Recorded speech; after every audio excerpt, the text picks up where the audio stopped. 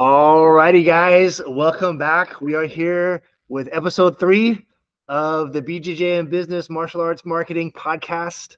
Uh, we have a very special guest, Samuel Braga from Braga Jiu Jitsu in Knoxville, yes. Tennessee. And I'm gonna say, Eddie, guys, put in the clapping noises. We'll be like, yeah. Thank you. os, os. Uh, so, man, thank you again so much for for joining us here.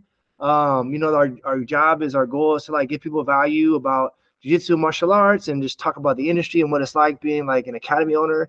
Um, but man, so tell me about yourself. How did you get started? Give me a little background information and, and kind of how you got uh, into teaching jiu-jitsu. All right. So um, like uh, anybody at the early 2000s, um, I got influenced by a lot of the Gracie family. You know, that's what brought me into the sport. When did you start jiu-jitsu? What, what year was it? Uh, in 2000. 2000. Okay. I like to think I started in the winter of 99. But it oh, was nice. the same time. Before I did, yes. It was like awesome. I, I, it may have been two. I remember, and I tell people that because it was like the songs that were on the radio. You know, it was like the. Oh, 99 is a, the music are amazing. You know, the pop culture is much better. Oh, bro, today, you know, bro, the Dr. Dre's like 2001 came out. What was you that? Know, he has so many good hits, you know, from rap because it was like a different type of rap that we have today. Yeah. From like uh, the rock, you know, you have like the time. Uh, what's the name? Um, Offspring. You have like uh, Smashing Pumpkins. You have yeah, like, Smashing uh, Pumpkins. Yeah, I'm from Seattle. Have, so like Oasis. Was the you thing, have all you know? kinds of different music. They're like so great for their lyrics, you know, not only just the beat itself, you know and you remember because like the way your brain works is like I don't know, but I remember that song, right? I remember this. Yeah, yeah, yeah. Around, connects, you know. I think the music is really good because connects you the time. yeah, yeah. It's just more like yeah, I feel like sometimes it's like it's a joke. You feel like it's like almost a time machine, you know? Yeah. Oh, man. Back in time, literally, right? literally, the same feelings that you experienced from that song. Yeah. Oh, I remember I was there and I was feeling some type of way. The nostalgia, right? Yeah, right. So you started in 2000. What did, what did that look like for you? Well, it was great. You know, like was, was that? Can you repeat, please? Oh, I say, are you from Brazil? Yeah, I'm from Brazil in Belo Horizonte. You know, I started. Oh, with Belo Horizonte, okay. Yeah, I started with Eric Vanderlei at first, and then I uh, want to intensify my train, add to my trainings, because I was mm-hmm. like, I, right at the beginning, I knew what I wanted. I had a goal in mind, which was mm-hmm. like basically become a world champion. Yeah. So with that goal in mind, I knew that I have to put more time on the mats. The more mm-hmm. time I, I put on the mats, I knew increased my chance to become a world champion. Mm. So I start planning around that, and um, so I had I train in the evening with Eric Vanderlei, which is a Draculino student, mm-hmm. and then train with Draculino on uh, morning and afternoons, mm-hmm. and um, which is you know just made me a better athlete and better um, technician overall, right? Yeah, so, you were training every day, like every day. Yeah, I I never. I mean, even when I was injured, sick, I did not take a break. I mean, mm. I had a mm. commitment. No, I had to mm. to train no matter what, because I I mean I just love the sport. You know, yeah. it was challenging to me, and I think any I'm kind of have um, a personality. When I'm learning something, I have extremely obsessive about it. Yeah, so I feel like jiu does that to people. I huh? feel like jiu-jitsu especially. Most people really, oh, bro, I'm all I'm all jujitsu in. How how old were you at that time? If you uh, at the time it was like 17 at the time. Oh, okay. 16, 17. Like, it was not it's not too old. Yeah, I feel like in Brazil. I've been there a couple times. And it seems like, and this was like 2010, maybe 2010. I think we went back to 2012, something like that, 11 ish. And I feel it's just more serious there. You know what I mean? Here, yeah. here now in the 2024, people United States, you know, with all the trainings and this, this, and that, maybe the same, but like I just remember in Brazil, even just watching like some kids train, like they weren't messing around. Yeah, like, I mean, I feel like Brazilians, they, I mean, when I we came from like a, a Eric Vanderlei, Draculino, I think if everybody had the inner compet, they're so competitive overall, right? Yeah. And everybody had like, not everybody, the majority of people have uh, the goal of competing at some point. Yeah. To make people more serious about it. Like I like to say, like for example, at Eric Vanderlei or Draculino's school at the time, the amount of people that have enrolled, the amount of people who never it will really really for somebody just enroll and not show up to class. But mm. I think mm. like in United States, people are more chill about it, more relaxed. Yeah. So sometimes they come once, twice a week. Sometimes they don't show up that week. They come next week. But yeah. I think like in Brazil, because I don't know, because the culture, everybody wants yeah. to make the best of for the buck, you know. Yeah, yeah. They pay for the unlimited train. They make sure they're gonna be. Yeah. They don't want to waste that money, you know. It says so unlimited, so I'm gonna be there unlimited times. Oh yeah, they yeah. want to be like, I want to be there twice. I want to make my money worth, you know. Yeah, they no, want to no, make sure they make the best out of the time and the, the yeah. investment they're making at the gym, you know. And I think that culture is so cool because you have, for example, they've been at the, this school in Brazil have hundred students enroll. You know that the time, for example, 11 a.m. and 6 p.m., you're gonna have those 100 people coming in. Yeah. That day, you know what I'm saying? I've seen some of these mats. I'm like, my God, like what is? Yeah, yeah. Because, I mean, I just saw one of my friend. I mean, friends there in his gym in Brazil and he I know he has like around 150 roll, right? Mm. And and 150 people come in a day because they don't want to just waste that money. You know, yeah. they want to make sure that they are making their money worth. You know, I think that's what you want, right? Huh? I mean, ultimately, kind of like my next question, like, so what you started training 2000. What did your journey look like from training, competing at 17, doing these things to now becoming like an academy owner? Oh, I opened my eyes a lot.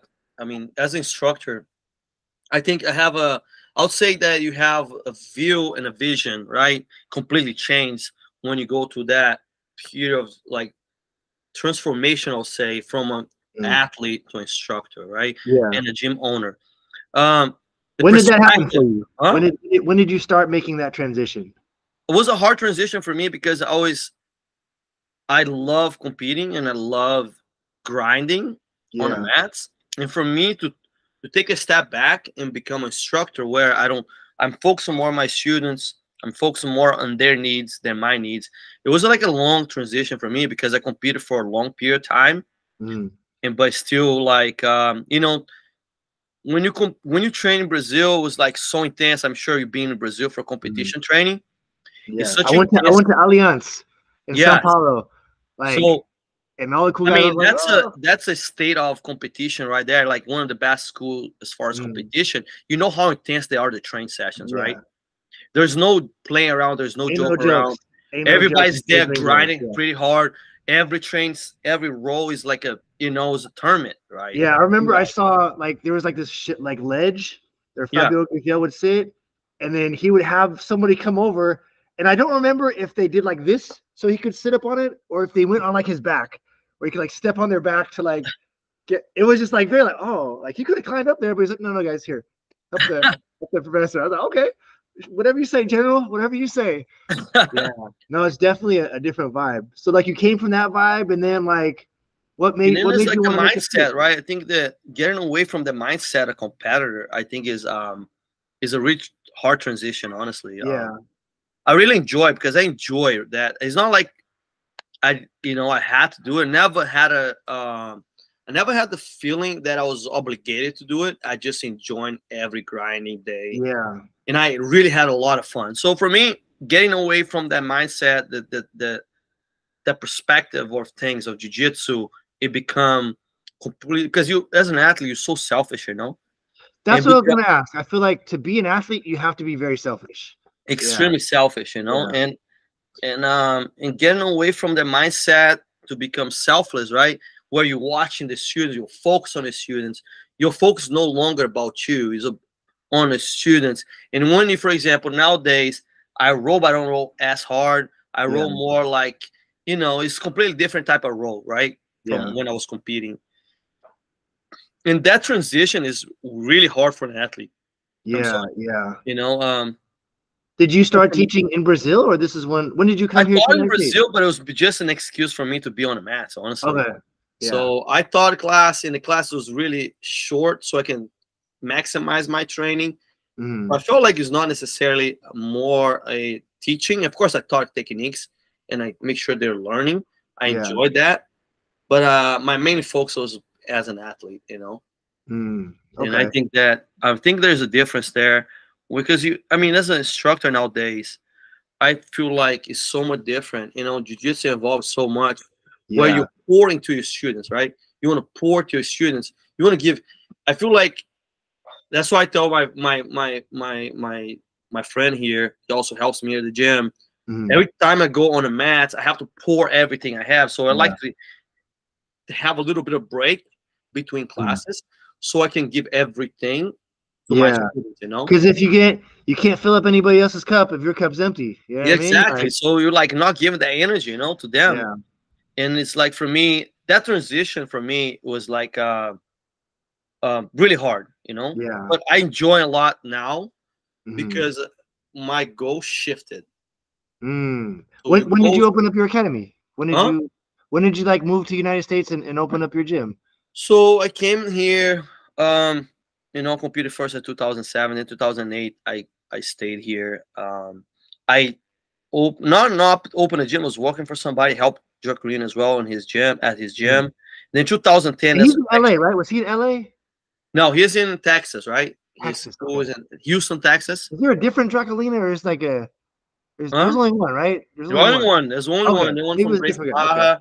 Yeah, he's. Okay. I mean, so he was in Texas. There was another Vinicius Magalhães, né? There's two Vin- Vinicius okay. Magalhães, which okay. is the MMA okay. fighter. Vinny Magalhães, the MMA fighter that fights uh, over 99 kilos. Yeah. And there's Vinicius Magalhães, the coach, Draculino. Okay, okay, got it. There, are two Vin- Vinicius Magalhães. Yeah, the other one is uh Laranja's arch rival. Renato Laranja's Yeah, it's so funny, right? They have a really good fun rivalry. This is hilarious. So you started teaching for Draculino in Texas. How did you get to to Nashville? Or, I mean to, to Tennessee? Knoxville. Um, Knoxville. So I got an offer. So I was helping Draculino there at his gym. It was a pleasure to. Uh, was a great learning process that I had there. Yeah. Period. And I learned a lot about running the gym. Mm. Um, of course, I'm always learning, right? Because you always yeah. learn, improve ourselves. But um, that was a really good learning experience, and I helped him there. And then I really want to two things, right? I want to be able to compete and be able to run a gym. That was my goal. So I got an offer, an offer to be here, to be teaching in Knoxville. Mm-hmm. But it was a good pay, and it was like more higher ranks, which allowed me to comp- to train to compete. Yeah. So it was a great. So is that somebody else's gym, where they said, well, "Hey, open up a gym and be the instructor"? Somebody hired you to teach there. Yeah, so a guy opened a gym here. They hired me to to to teach, and then several. I was a couple high rank belts, you know, not many, but a, a, you know, a handful, two handfuls mm-hmm. at the time, which is like helped me on my because I just had to teach, right? I didn't have to. Run a business, which make easier. Just have to like sort of focus on my conditioning and training yeah. along the teaching. What year was this? Uh, 2008. 2008. Okay. Yes. Mm-hmm. 2008. Uh, probably like uh right summer of 2008. How much was it? Okay. Around summer, yeah. So Spring. then you're teaching there, and then what happened? Yeah, then I the guy that was was the gym owner. He had um, you know, has family Idaho, and some stuff yeah. was going on. His family there. He had to leave, and then he sold the gym to me. Oh, oh, okay. That's yeah. what's up. He sold you the gym. Okay. That's what's up. Okay. So yeah, it was a good transition. Since, so you own mm-hmm. it since 2008? You've been running this? No, no, no. That was like late. I, I worked for him for almost two years, right?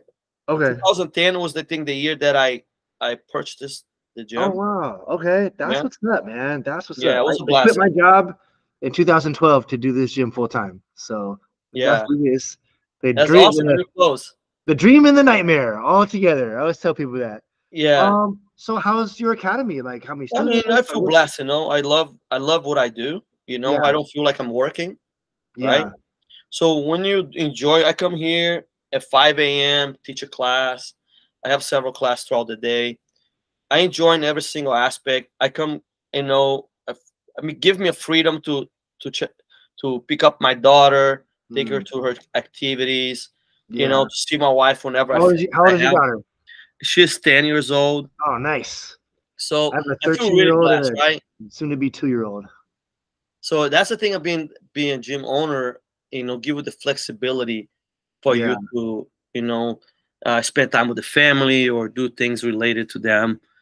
And that's I think I'm extremely blessed. You know? Okay.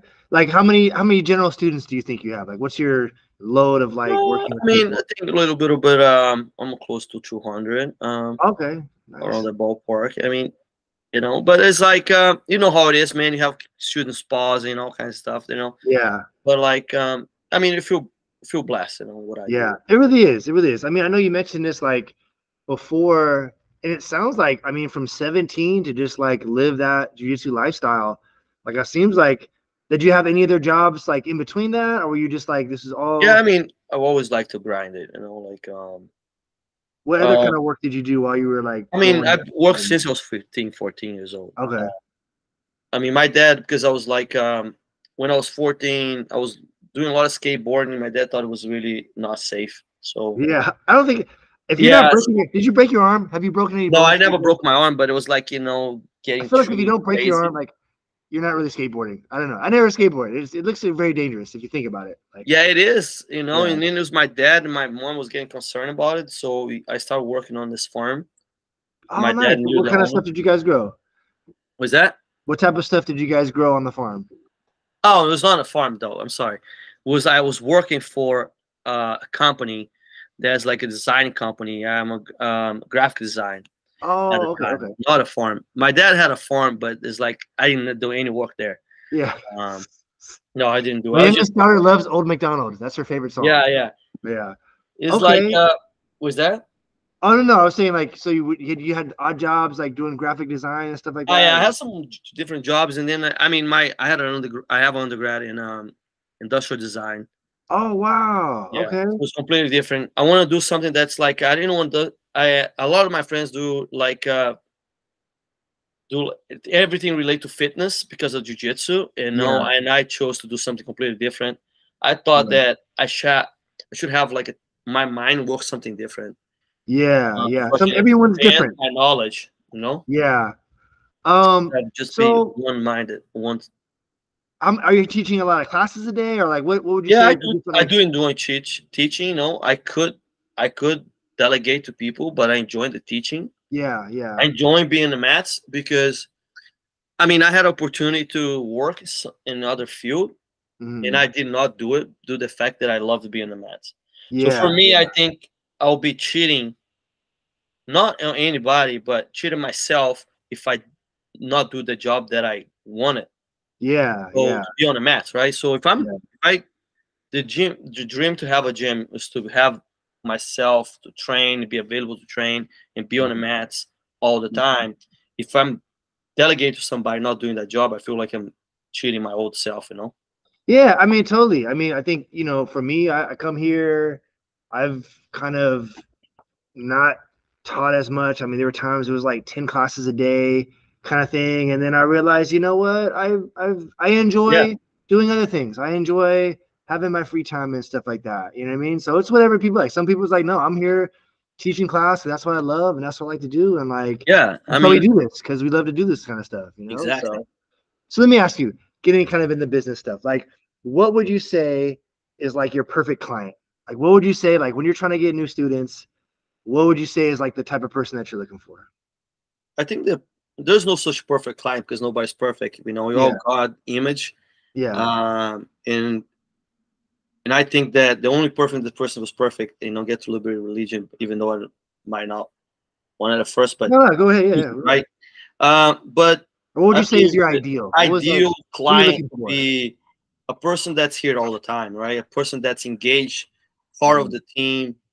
Uh, I like somebody that's on a mats. For me, um, I'm sorry. Um, I'm sorry. Um, so for me, the ideal client is somebody that's on the mats, inspired and passionate about jiu-jitsu. Mm. Because that's easier, right? Somebody that loves jiu-jitsu, they're here, they're training, they like to be here. Yeah. That for me is the, the ideal client. Just you know? someone that's like just really bought in, community. Yeah, the guys, like... my core group of guy, you know, my guys that can here, and I know yeah. they're gonna be here. That's yeah. my ideal client because you have a good connection because we're both passionate about jiu-jitsu. Yeah. And their goals are to improve in jiu-jitsu. That's for me my ideal client. okay. What would you say are like some of your biggest like wins? Like working with you get people will come in every day, you know, someone was dealing with something or whatever. Like what what can you say is like, oh man, this guy came in. I feel so great about the impact that this had on this person. Like, yeah, do you have any specific examples like the story of that guy. At any point in time that you can enhance somebody's life, for example, you get a kid that's completely shy and he has a hard time socializing. Yeah. And um and then they become super confident, right? Yeah. Be confident. I had a student that he had like problems communicating mm-hmm. and he had a problem, you know, to be part of the society per se, you know, because you're so shy, you not yeah. feel comfortable being around people, you're not be comfortable doing kids activities. Yeah. And then he started doing jujitsu and he felt so comfortable. He started playing soccer, playing football. Mm-hmm. So he became a whole different kid that he not even had time for jujitsu anymore. Mm-hmm. And he's mm-hmm. like, "Oh, coach, I'm so sorry, I don't have time because I have all these events that I, I go to. You know, I have to play I play soccer or play at the time he was playing football as well, or mm-hmm. he was have this events and gathering from his from friends and stuff. I was like, listen, my job is done. Yeah. Oh man. You know? So I mean, just imagine how his family probably feels. Yeah. If, if imagine like, here talk, then they feel really they're really pleased. Yeah. Yeah, and I think that's one of the, the unique things about like you know, uh, being in a like a service business, being in a, especially jujitsu in particular, because it's so it's so niche, it's so like kind of like a narrow scope of kind of things that you do that impact such a wide variety of, of other kind of things that you have in your life, and to be in a space where you can like literally, like, imagine the good this guy's gonna do. Imagine yeah. what his life would have been like you know, maybe it's drugs, maybe it's other people, maybe it's other kind of stuff. Mom and dad, like, oh my boy, right? And then because yeah. of jujitsu and the work that you do, like, it's a whole other thing. And it's very, I, I mean, we do jujitsu. I'm not saying it's unique to jujitsu, but I feel like it is. Jujitsu has a lot to do with it. Is what I'm trying to say. So yeah. Um. Okay. So all right, I I kind of struggle with this. I'm trying to get better at it. What would you say is like your your elevator pitch? Like when someone walks in, they say, "Hey," and I really don't like this question. What do you do? Well, I do all kinds of things. Like when someone says, "Like, hey, Samuel, what do you do?" What what would you tell them? Like, how would you how would you describe your business? My business, I think, like I had so a, you had a party, you have a cup. Say, "Oh, yeah. what do you do?" Yeah, I mean, we had a different approach a while ago. Was mainly big champions, mm. and my approach mm. today is a little bit different. I mean, I think that our approach today is impact or community in a positive way, mm. enhance people's lives, you know? Yeah. I believe that when you go to a competition side, you're gonna narrow down to like not like people. Yeah. I mean, you're not gonna it's so narrow the niche that you have, so small yeah. that in I mean some some people might have like more people competing, but I think that impact the majority of people in a positive way. It can enhance their life. They can feel not only physically in better, but mentally better. Yeah. When okay. they come in and when they get out, feel a completely different person. That's that's our goal, and that's I think that be uh, our main goal: spread the passion of jiu-jitsu, inspiring people, and enhance their life.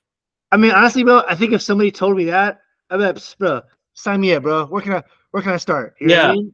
Like so much of like our ability to connect with people is kind of what our, our intention is. Right. Yeah. Like if our intention is I'm gonna make you a world champion. Well, look, you take 100 people, you're going to have your top 3%. And that yeah. top 3% are the people that are going to be on those podiums. You know what I mean? I mean, what? How many people are competing at blue belt lightweight in the worlds? Like, what? 200 people in a bracket or something like that. So you're going to get 0.5% of that, or point, was it? one is going to win. 0.5%. Yeah. I don't know what the math is, but a very, very small. Yeah. you know what I'm saying? So, okay.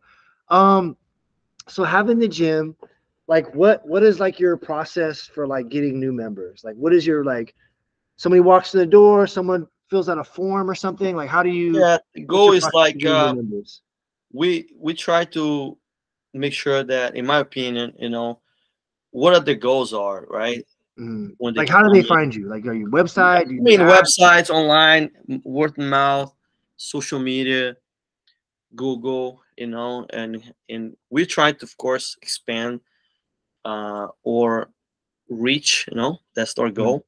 Yeah. You know, but like I think word of mouth, I think is like probably big part of it. I think, right? Okay. Um, the how main thing like, is. Hmm? Oh, sorry. Go ahead. Go ahead. Sorry. Go ahead. Oh no, I was gonna say like how many like leads do you think you get per month? Like how many do you guys track it or do you like how many? Yeah, think, like, I mean, maybe like um close to 30, I guess. About 30 minutes? Okay. okay. You know, um and these are people know, that like find you on Google or like they see yeah, you on Facebook or something. You like know, that. It, like that. You okay. know, and then our of course, you know, we have people that might be um referrals and things like that as well.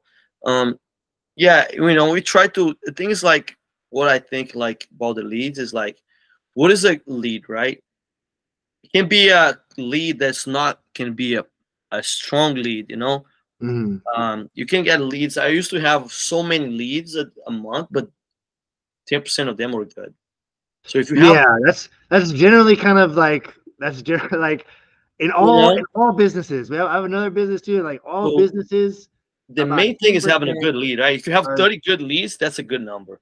Now, yeah. if you have 100 leads and 10% of them are good, now you have 10, you know? So yeah, it all depends what kind of leader you're getting from. So I used to do Facebook um, marketing in oh nice. Majority, huh?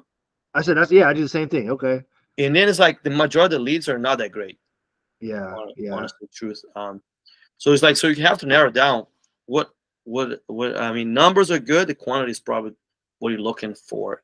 As yeah. far as and it's like always like the chicken or the egg, right? Like you can get, you know, a lot of leads, but then you have no leads, and then like some of them are good, but so you know what I mean? Like the local versions like, in reality, yeah. For me, it's just just about opportunity. You know what I'm saying? Like, let yeah. me get as much opportunity as I can. I have some people that are like, you know, oh, I thought this like I've had people that if you looked at them, you would be like, this is not gonna work for this person. And then they sign up and you're like, oh my god, like I'm so glad this worked for you, you know. But I would never have known if I didn't. If I yeah, that's the beautiful thing about like jujitsu. I think like it's like um you cannot judge any book by the cover, you know. Yeah, yeah. I mean, I was joking with my students, like telling them like, um, I think the most beautiful thing about jiu-jitsu, in my opinion, you can get somebody that's completely non-athletic and mm. they can be a genius in on a mat, right? Yeah. I mean, Mike Mike Musumeci, not no. saying that he's the most athletic person. He's, I think he's he pretty athletic. athletic. I think he likes to say that, but I think that guy's pretty athletic. I think he is athletic, but like but okay, yeah. so if you look at him with the clothes on, are you gonna judge him as athletic person? Yeah, not at all. Okay, that's what I'm talking about, right? Yeah. So he that his athleticism developed over time with jujitsu. Yeah, right. He does. I think have, he's mastered the way to be to be very technical. I think he is like he's, he's more like a brainiac. Yeah, he's a brainiac, and he knows how to study jujitsu and how how to practice properly and effectively. And I got my black belt from from Caio from Caio Terra, mm-hmm. and he was there for a while. Mikey was there, and those guys together were like the brainiac, yeah, kind of guys. Like it's very, it's very, very interesting. I was thinking that in jiu-jitsu, a majority of the lighter guys. You no, know, Mike's a little bit off the charts, but majority of the guys when they're small, they're, you're not ever gonna see a guy that's small frame mm-hmm. that's ignorant or not smart in jiu-jitsu, in my opinion. Yeah, you have no choice.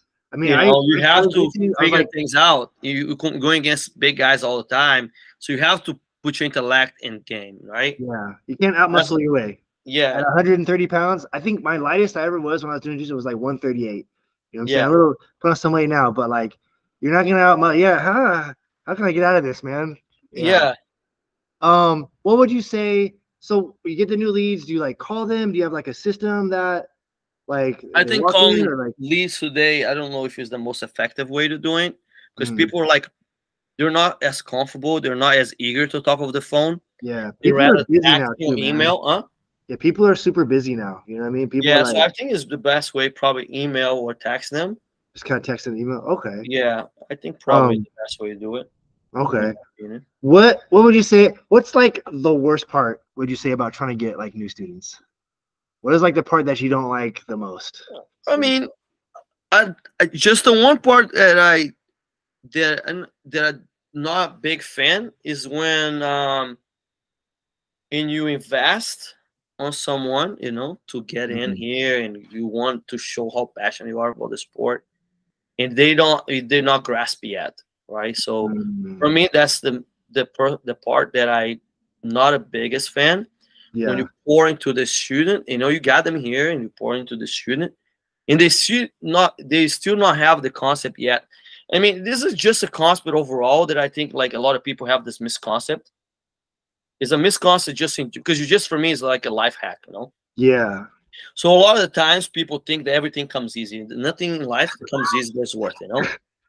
So they have this. I blame like, social media for that. It is not. Yeah. yeah. Come on, man. They come in, they're like, "Oh man, I'm gonna learn jujitsu." He, they come for a week or two, then three, and they thought master or know at that point jujitsu, yeah. right? So that's a misconception. Then he realized, man, this is it is a tough sport. Yeah. So, and that then he's like, they don't realize the consistency is big part of the game, right? I mean, anything. Do, do you play any instruments? I play a little bit of guitar. Oh, really? Okay. I mean, not, I, not any, I don't play anything anymore, but I I try. I attempt to. Yeah, but I'm sure when you're learning guitar, like it's da da da da da da da da yeah. right? You get over and over and over until you learn the chords right? and this and that. You know, it's the same. Yeah, really anything. You're gonna be a doctor. You yeah. you have to be consistent. Like that's exactly. inconsistently works, man. Um, yeah, no, that, that can be super frustrating. I think like trying to set expectation. I found like trying to set expectations. I'm like, this is gonna take a while, bro. Like this isn't gonna happen overnight, brother. But you just gotta like you can't you can't get the work if you're not putting in the work. You know what I'm saying? You can't get yeah. the result if you're not putting in the work, man. Um, so going from like being an athlete, competing all the time, putting in the grind, putting in the work, to like academy owner, um, what do you think that impact has had on you, like personally, like as your growth? I mean, I mean, I'll I'll be honest. Like there is levels of competition, and mm. I believe that's like um, entails a lot of things, and you're gonna reflect a lot of the gym owners as well. Some of them do a transition mm. transition well, some not so much. Mm. I think there's level competition. You know, like a person that's a world champion as a go get it, mm-hmm. like a grinder, obsess.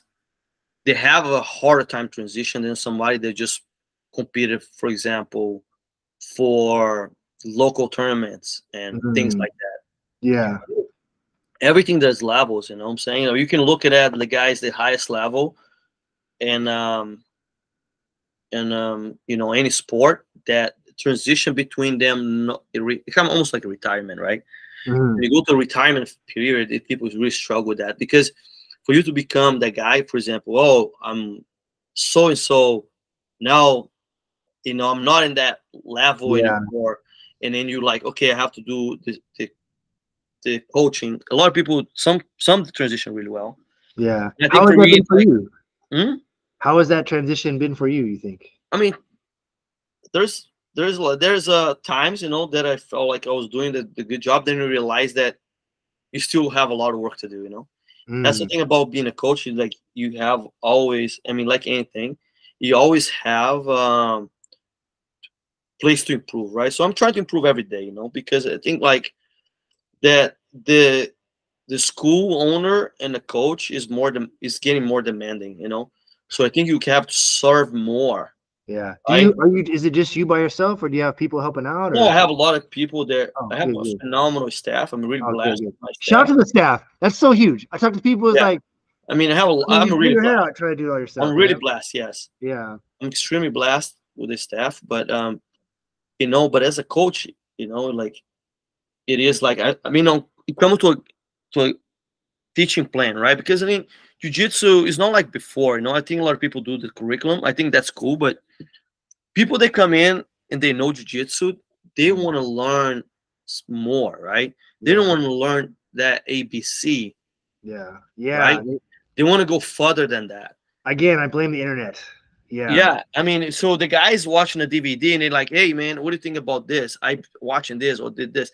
So I seen all the time, and I actually I like to see my students seeking for knowledge. You know, they're like trying to find different sources of knowledge, and I can I like that because that's just level increase the level of the technique that you're gonna go through. Um, yeah. But at the same time, you know, you have to cater not only for the fundamentals and like really basic ABC, but mm-hmm. you have to like level up your game. So you're constantly studying jujitsu watching yeah. matches, you know, mm-hmm. to make sure you you are, you know. Yeah, it's so interesting you say that because, like, you know, my approach has always been, and even actually, it's gone from I'm gonna tell you all the fancy stuff to like, look, dude, let's just let's get you here. You know what I mean? Yeah. Like my my wife's friend's husband is a basketball trainer in LA, right? So he works with these high school kids and people that are trying to go to college and stuff. And it's I feel like it's the same in a sport. Like these guys yeah. want to do this stuff, but look, if you can't dribble the ball on both hands, like yeah, you're not going to be able right. to do that, bro. Like yeah. it just won't work. And then once you have put that in, like, okay, yeah, let's do that. Let's find out what's working. There is this study that came out. Um, I just found out this yesterday. There's a study came out, I think it was in 2012.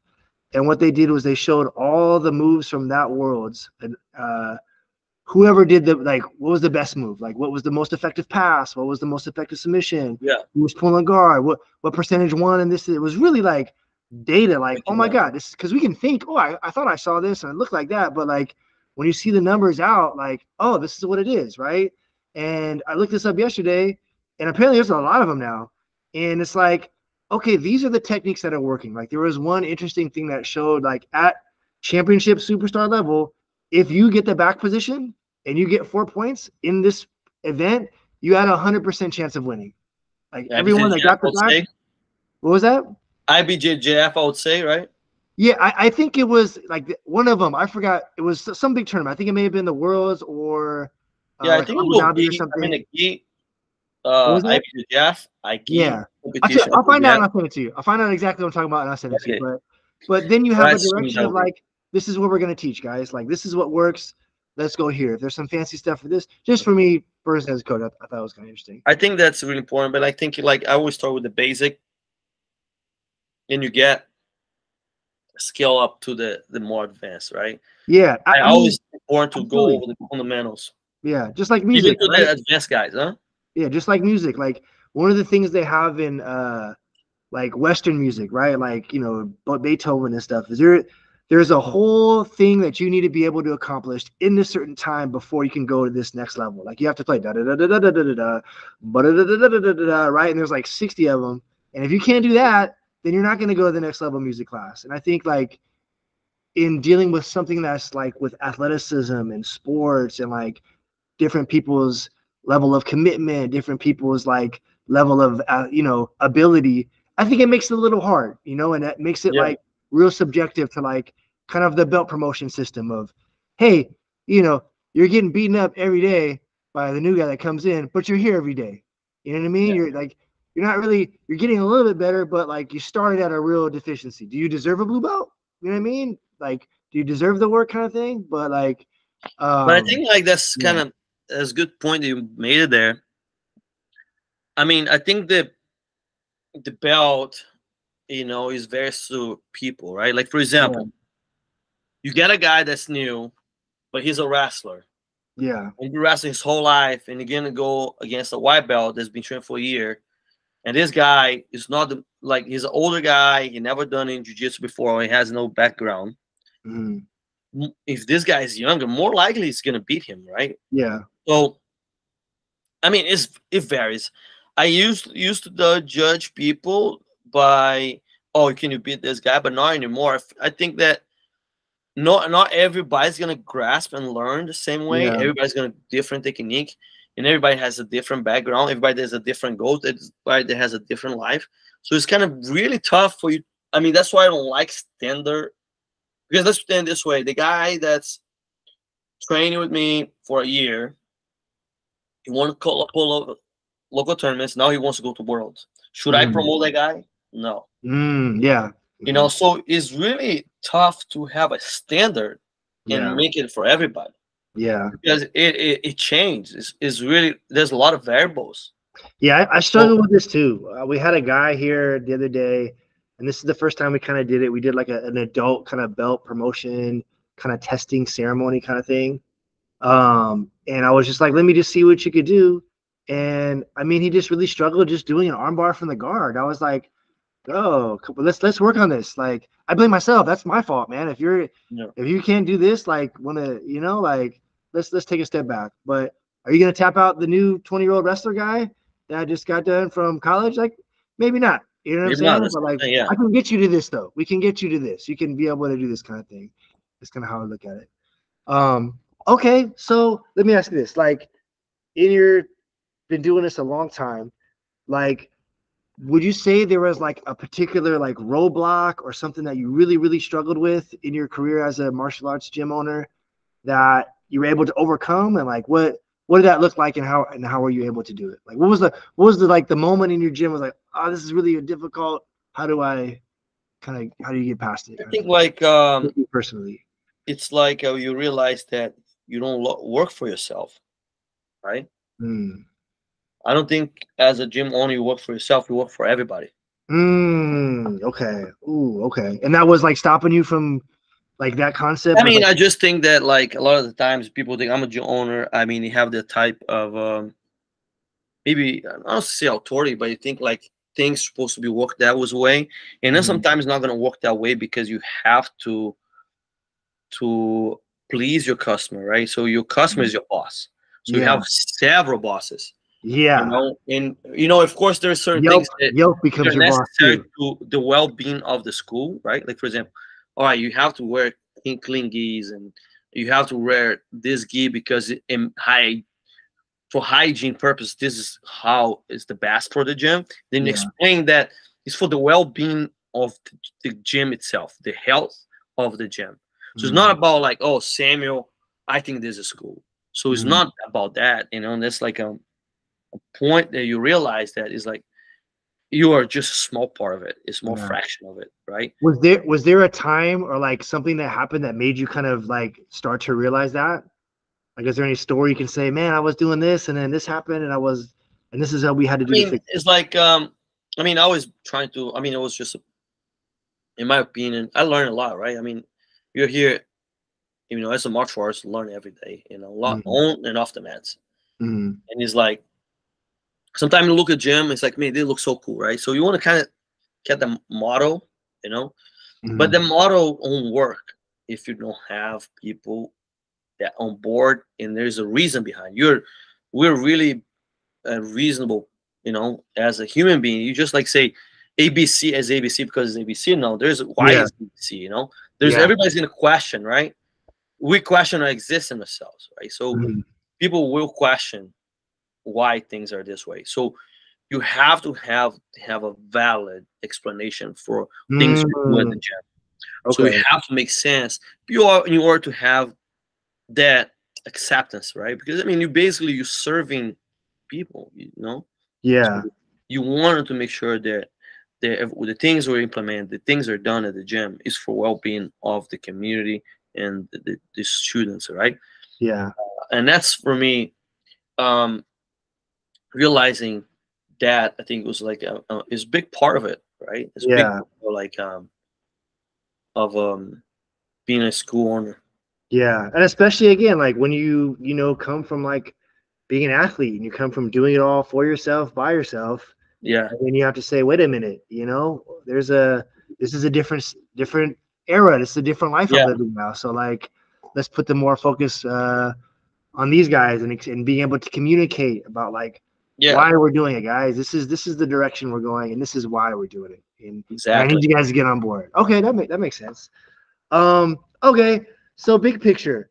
In a perfect world, like where do you see your academy going? Like in a perfect world, like how many students do you want? How much money you trying to make? Like what is your what does your like perfect world gym look like in the future? Like, I what are you like, looking for right now? I mean, I used to see numbers, and numbers, of course, you have to pay the bills. That's one reason that you look at numbers because it's a logical way to to see uh, how you're gonna provide for your family, how you're gonna be, you know, living a comfortable lifestyle yeah. and so forth. But I think like um, my goal now is having a gym when people are here, they're smiling, have a good time. Mm. You know, when you have that when I achieve that level of comfort among the students, they feel extremely excited. They feel mm-hmm. extremely thrilled to be here. Mm-hmm. That's what I see myself. It doesn't matter if you have 10 students in your mats and they see that, they have that that that sense of man, I love being here. Yeah. Having fun. I cannot wait to come back. Then the school is organically is gonna grow. Yeah, yeah. You know, having all those, now let's pretend that you do the hit a really good marketing, you know, tool and you pack in your gym. Mm-hmm. All right. If you're not delivering a good product and where they're happy, where people having a good time, they're laughing, having a blast on the mats. Yeah. That's not going to be sustainable. Yeah. So sustainability, sustainability probably that's our goal, right? My goal is to provide uh, a great product. People are pleased with what we teach, you know, mm-hmm. and to have an environment that's a healthy environment, and yeah. that's our goal.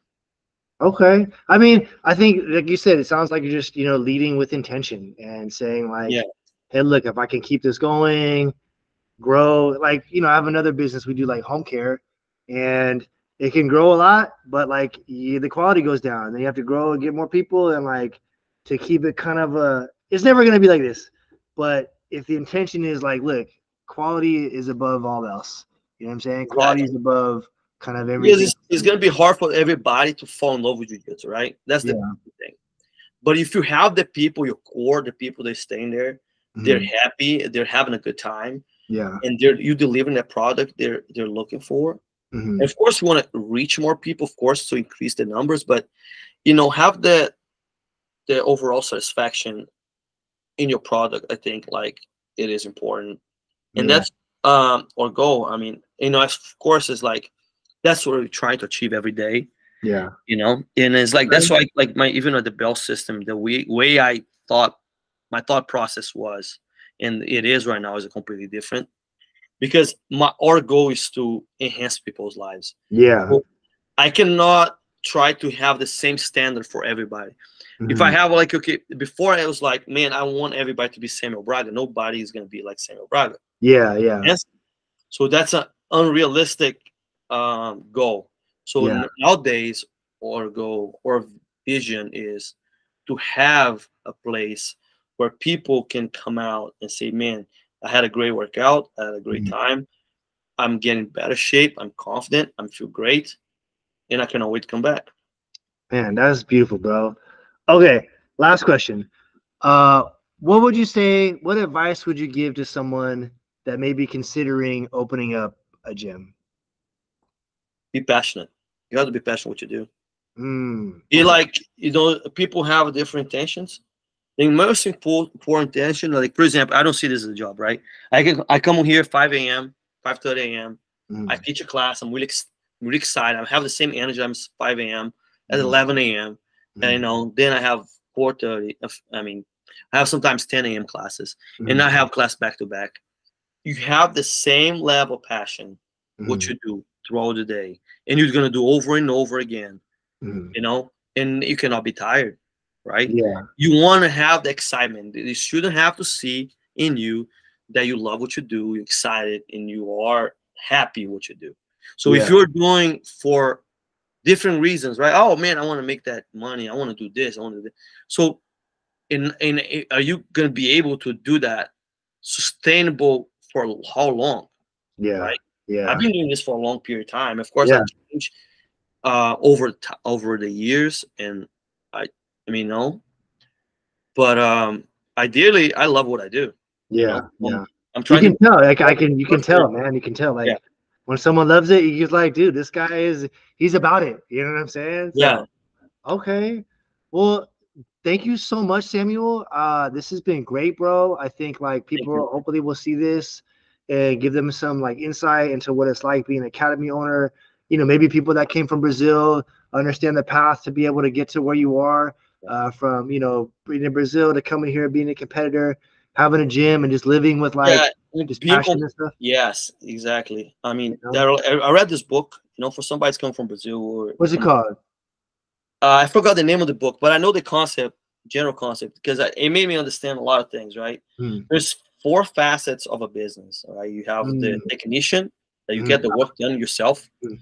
Then you Was have the E-Myth? manager, huh? Was it the book The E Myth Revisited? The E. I don't know. So it sounds very similar. Yes, yes. Then you Go have ahead, the manager, you have the entrepreneur, you have four facets of you. You want to make sure that you know them for, but you don't do them for yeah. in a certain way. Yeah. Right? You have to, in my opinion, you have to have people. You can do it all. Of course, you can have to wear the, all the hats at some point, Mm. But you have to have people that you can rely on each part of it. So you're not doing it all. You're not overextend yeah. yourself.